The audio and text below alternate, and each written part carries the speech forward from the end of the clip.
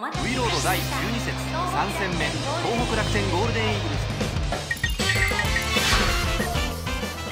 7番バッター丸先ほどの打席で先制のタイムリーを放っています唐島まずは先頭バッターを打ち取っています。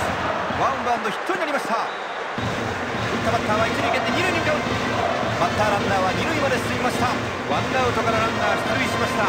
ワンアウトランナー二塁となりました。うまく打ち返しました。ツーベースヒットを放っています。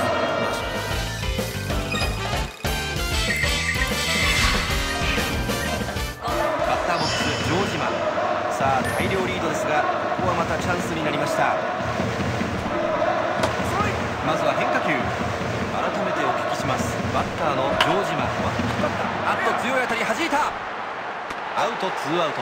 ツーアウトランナー二塁となりました。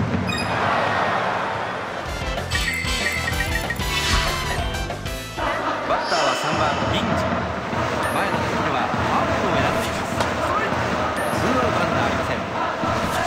さあ勝利まであとワンアウトとなりました。まあそうですね。最後きっちり締めてもらいたいですね。ファウルになりますインサイド落ちました。セカンドが取るこれでスリーアウト。試合終了になりソフトバンク打ちに打ちました。大量リード。大量得点で勝ち